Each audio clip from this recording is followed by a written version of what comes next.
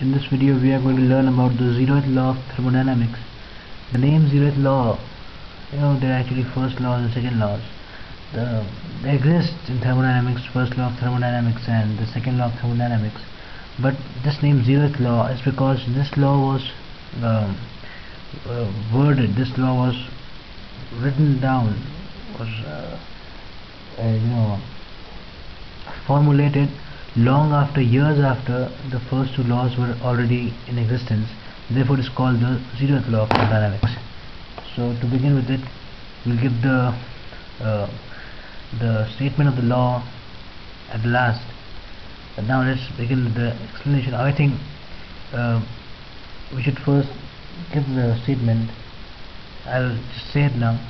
The two systems in a thermo two systems in thermal equilibrium with a third system separately are in thermal equilibrium with each other.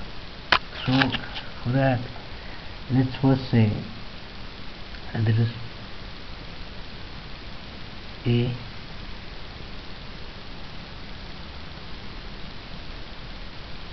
B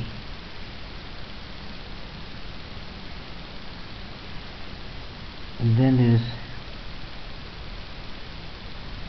C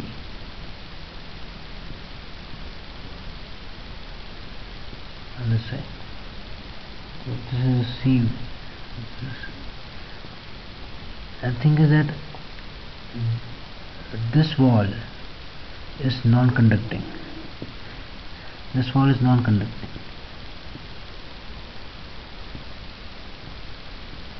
So basically they cannot you know exchange heat or anything it's non-conducting wall this is a conducting wall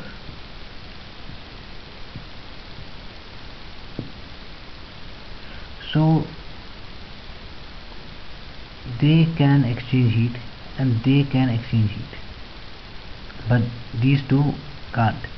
So according to the statement we go after some time obviously that uh, it is obvious that after exchange of heat and everything A and C will be in thermal equilibrium and B and C will be in thermal equilibrium. Now to further the experiment what we do is we now have C here. This is A. And this is B. This time this is the non-conducting wall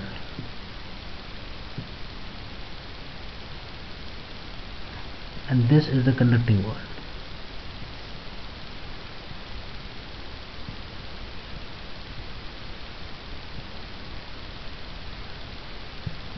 what we observe here now is that these two vessels or these two A and B do not exchange heat because they already are in thermal equilibrium. From here they were in thermal equilibrium with this was with C B was with C. So now when this is non-conducting this is conducting now they can exchange heat but it's seen that they don't exchange heat because they are already in thermal equilibrium. You know that's the way uh, it has been uh, shown. And so in thermal equilibrium the physical quantity which defines which uh, implies I mean uh, the implication that the heat does not transfer anymore. The implication that the heat of that the heat does not transfer anymore is that the temperature is equal. If there is a hot body and there is a cold body obviously heat will transfer from hot to the cold body. That's the way it happens. Now as we see that here heat does not transfer. The implication is that temperature of A equals to temperature of B. That's what the implication is of this part. And of this part what we hear from we, we see from here is that TA equals to TC from this. And TB equals to TC from this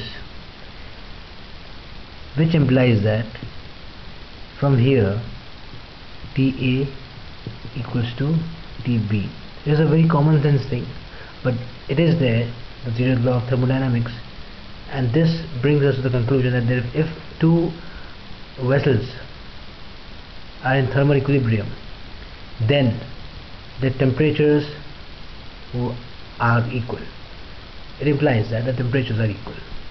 Thank you